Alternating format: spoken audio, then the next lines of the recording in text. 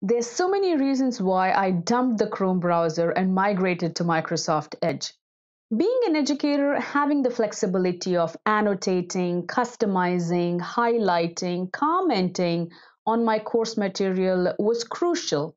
Hey, my name is Bhavani Kola. Welcome back to my channel. In today's session, I will be showing you how I use my Edge browser as a blackboard, whiteboard, and multiple other things in my teaching. So without further ado, let's go ahead and jump right into it.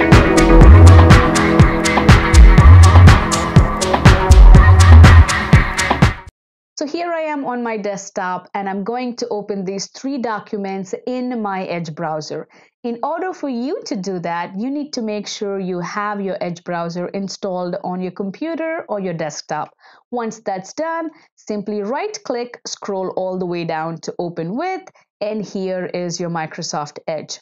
I have opened up all these three documents. As you can see, it's document one, two, and three. So I have all these three documents opened up in one window. If you're using Microsoft Teams or any other video conferencing tool, all you have to do is share this one window and it's like a one-stop shop for your students.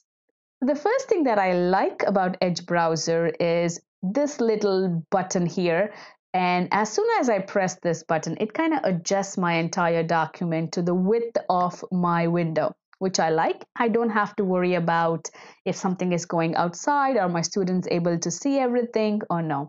So this is a document that I have created using PowerPoint. This is the first page that they see. When I scroll down, as you can see, this kind of mimics the blackboard inside our classrooms. Again, this has also been created using PowerPoint. And because this mimics the classroom, uh, the blackboard inside the classroom, I will go ahead and start using my annotation tools, which I love about the Edge browser. It's right here. Once I scroll up, all my tools that I need to teach my class are available right here. So I'm going to go ahead and pick a white, now yellow color because it's a blackboard. And I'm going to ask my students, uh, test two review done. Did you complete 3.1? Did you discuss the project? Whatever the date this is. My to-do list and questions from 3.1.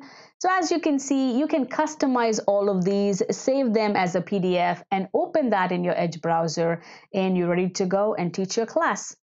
Now let's move on to the next slide or the next PDF document. I've created a plain blank PDF and this kind of mimics your blackboard in the classroom. If I have to go ahead and write, I'm going to say z is equal to x minus mu over standard deviation. I'm going to say important formula and you can also write down or customize. Again, today's objective was 3.2 the problems that I'm doing is 4, 6, and 9. And as you can see, I have a save button as well. I can save this entire document or I can save it as. What I do is I create blank Blackboard documents for myself and every class I save it as that day of the class so I can just email it to my students. Let's say I'm saving this document today Instead of saving this, I will click Save As and put it as today's date. So I'm going to click Save As. And whatever today's date is, I'm going to go ahead and plug in that date and save that document. And all I have to do is send this document to my students. That way they have the entire notes right with them. So let's scroll down further. If you're not a Blackboard person, here I have created another customized PDF document, again using PowerPoint. So I'm going to use a darker pen here. I'm going to say um, x minus x squared minus 4x plus 5 is equal to 10. I'm going to say solve. So you get the idea. You have this complete customized Blackboard, whiteboard for your classes. And this is another one that I created. Again, all of this is done using PowerPoint. If you want to know how, please leave a comment in the comment section below so I can create a couple of them and have them available for you to download. Now let's go ahead and take a look at how I teach my classes. So this is again a PDF document that I have created using my PowerPoint and opened it up in the Edge browser. And as you can see, I will use my highlighting tool and say, today we're going to compute probability using normal distribution. And I'm going to pick a black pen here and I'm going to say area is equal to probability.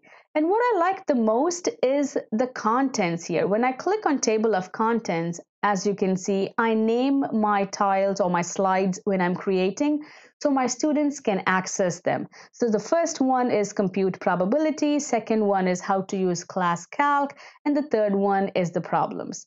So let's go here. I'm going to close this. And again, do not forget you always have an option to read aloud. This is right here for you. So here is my document, the first document or the first worksheet that I'm going to be working today. Let me go ahead and pick a pen tool. And here I am finding the area under the normal curve. Okay finding the area under the normal curve that lies to the left of the z-score. Just for demonstration purposes, I'm going to go ahead and graph this for my students so they know that area is to the left, right? You can change the colors. I'm going to say area to the left. Make sure you know this is to the left. And I also would like to add a comment to the word left in the document. To add comments, it's very simple. You let me uncheck the draw button. I'm going to select the left tool. And as soon as you select, you see that this tab opens up and it's going to ask you what do you want to do, copy, highlight, or add a comment.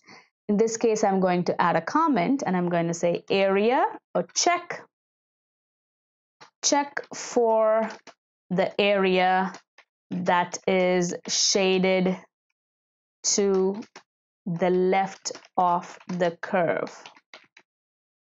And if you want to add something else, you can do that too. And I'm going to click OK. And as you can see, I highlighted it and added a comment and you can see this little tab that said there's a comment there. So when my students are reviewing this document, they can go here and there's going to say, oh, she asked me to check area to the left. Now, if I want them to check area to the right, I'm simply going to highlight the word right, add a comment, uh, check area to the right. Again, this is just for demonstration purposes. You can add whatever comments you want. Now let me go back here. I can change the color of my highlight too. If left is yellow, I want to make right green. So there I have it. And in addition to that, I can also use my pen tool and highlight whatever I want. And if I'm done, I can go ahead and erase it. So I really like using Edge browser in my classes. I don't have to worry about different apps, downloading, updating. It's all one-stop shop for me. And let me show you one more way of using it. When it's the first day of class and I would like to demonstrate or talk about my syllabus in my classes, this is again a PDF document that I have created using PowerPoint. This is an interactive PDF. And again, if you want to learn more about this one, all you have to do is leave a comment in the comment section below so I can show you how I created this interactive PDF.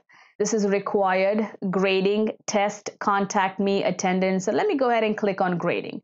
Let's say I'm demonstrating this to my class and I'm going to say this is grading and Please pay attention that your test grades are 60%, your what was that? Class participation is 10% and your quiz is 15 and your homework is 15.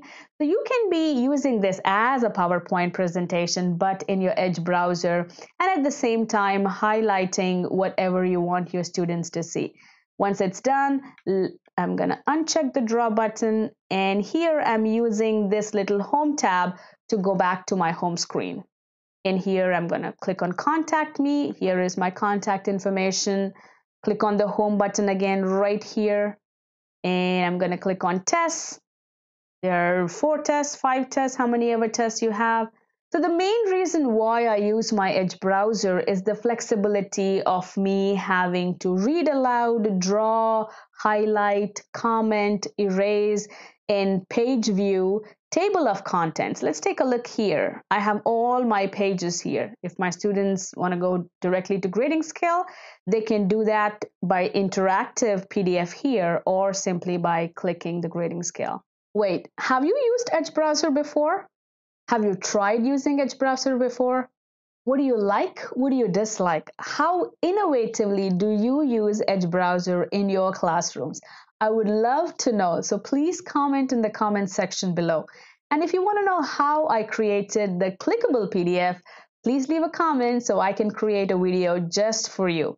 I hope you enjoyed this video. I hope you learned something new today. If you did, please make sure you like, subscribe, and if you think it's worth sharing, please go ahead and do so there could be an educator who might want to focus on the teaching rather than technology. And always remember happy teaching and please take care of yourself.